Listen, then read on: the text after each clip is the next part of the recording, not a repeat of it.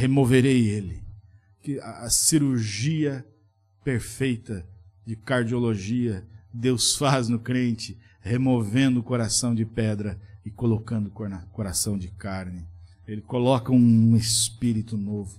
Ele te reveste desse espírito. Essa carne agora passa a estar sujeita à direção do Espírito Santo. Você continuará sim tendo os desejos, você continuará sim sendo tentado. Não, não existe isso, que você não vai ser tentado, não, você será tentado.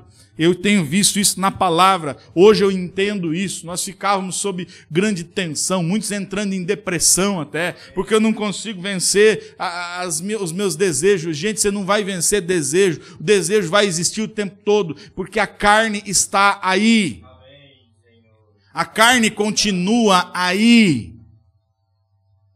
Se você continuar olhando para uma mulher, homem, você vai sentir atração, você vai sentir desejo. Por isso a palavra diz: olha, pega esse essa natureza, como esse cão raivoso, bota a focinheira nele, coloca ali a enforcadeira nele, aquele material, aquela coleira específica para cão violento, pesado, bravo, não é? Segura, porque aí o que acontece? A natureza carnal vai estar puxando para aquilo ali, mas você tem o controle, o Espírito Santo tem o controle. Fala, não. Não, Satanás. Você pode até desejar isso. Eu não. Falamos isso esses dias, não é? Ele coloca em nós pensamentos em primeira pessoa. Porque se o diabo chegar para você e falar, você não dá conta, você ainda fica sentindo-se tentado por aquelas coisas. Você vai olhar para ele e falar: toma vergonha, Satanás. Nem me acusar, não. Eu tenho um que me defende, que é Cristo. Eu tenho meu advogado. Agora ele é astuto. Ele chega na sua mente com os pensamentos em primeira pessoa. Ele chega pensando no seu lugar. Ele diz assim: Eu não consigo. Realmente eu não dou conta de vencer essa fraqueza de vencer esse pecado. Cada vez que eu passo em frente a um bar, eu sinto o cheiro da bebida, aquilo me atrai.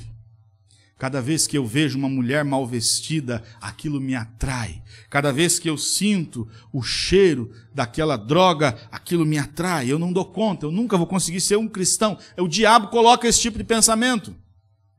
Eu nunca vou conseguir avançar, ser um cristão cheio do espírito. Quando ele fizer isso, você levanta e diz assim: está repreendido, Satanás. Realmente, Satanás, você nunca vai conseguir. Você falou bem a verdade.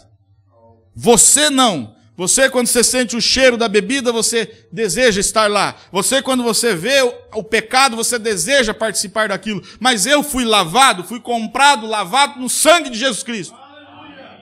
E você está repreendido. Novo nascimento não tira, não te dá um novo corpo. Esse novo corpo nós teremos um dia. Ainda não é o momento de tê-lo. Estão entendendo?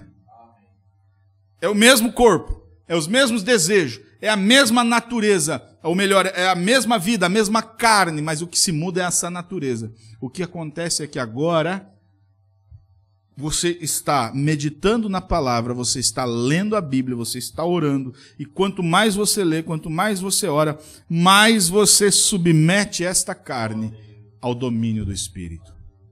Não, realmente essa carne deseja. Mas agora eu estou sujeito ao Espírito. Onde é que o Senhor quer que eu vá, Senhor? O que é que o Senhor quer que eu faça? Isso é novo nascimento, gente.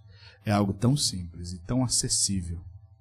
Não é uma coisa ultra secreta que ninguém consegue, que ninguém é intangível para todos. É para apenas um. Não, qualquer um consegue. Submeta essa natureza. Submeta essa carne ao domínio do Espírito. Comece a praticar as disciplinas da leitura e da oração. Você vai ver. Vai continuar tentando, sim. Se você der brecha, se você demole, ele te derruba. Você vai ter que manter o estado de alerta constante. Não dá mole para o inimigo. Mas uma coisa é certa: você submetendo esta carne ao Espírito, você vai provar o que é o nível de comunhão com Deus. Que você achava que não era para você, que você achava que era algo intangível. Mas isso é para cada um de nós aqui. do mais fraco ao mais forte, todos nós temos o direito de acessar a, a, as coisas mais profundas e mais tremendas de Deus, se nós tão somente nos rendermos a Ele.